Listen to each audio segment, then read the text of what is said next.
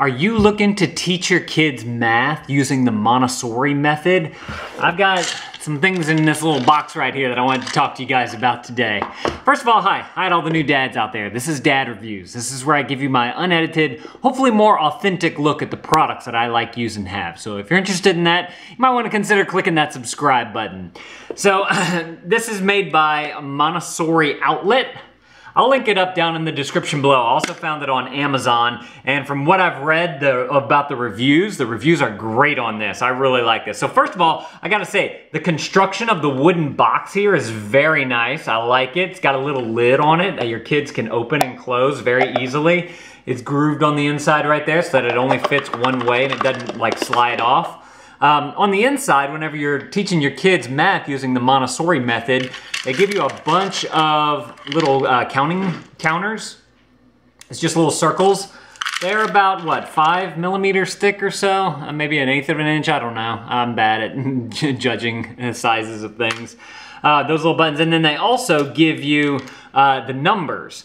And one thing that I saw, one of the reviews uh, down in that link in the, from the Amazon on the comments is that uh, they mention how they have the number four written like she teaches her kids to write it. Instead of the top being connected at the diagonal, it's just a straight down. So I thought that that was interesting. She said the four, the one, because it's just a straight line, and then the nine. I don't know another way to write a nine, but the nine, that's what that looks like. I'll go ahead and go through them all. This is the five, and the two, and the six, and the eight, and the zero, and then they give you a seven, and then another one to make like 10, 11, 12, 13, all that type of stuff. So the way this works, the way you can use these, let's see, let me uh, bring y'all down just a little bit. all right there, is that you have all your different numbers. So you give your kids, like, let's say the number nine. You say, okay, uh, count nine beads out. And so they have to take some of the beads and just go one, two, three, four, all the way up to nine.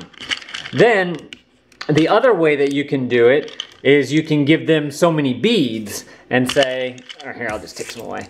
Okay, how many beads are here? And then they have to place the number that corresponds with how many beads are there. So they could do five.